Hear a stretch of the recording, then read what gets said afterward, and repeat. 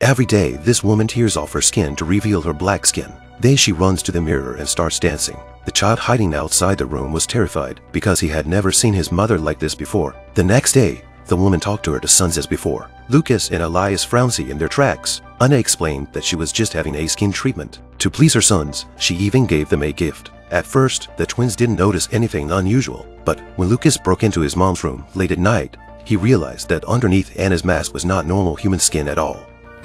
Are you doing? Anna rushed straight into their room and told them to stay at home and never go out to the warehouse. But for kids, such horrors only make them more curious. That day, Lucas and Elias went to the warehouse with their curiosity. Lucas found a bloodstained rag on the floor, and the stains on the wall looked like blood that hadn't been wiped off. As they were going out, Lucas was suddenly grabbed by Anna. She furiously asked Lucas why he broke into the house and pushes him to the ground. The twins were shocked by the scene because their mom never used to be so angry. At night, Lucas was still wetting his bed because of this incident, but when he woke up to get changed, he found Anna on the phone downstairs. She kept saying into the phone that she didn't want to pretend anymore.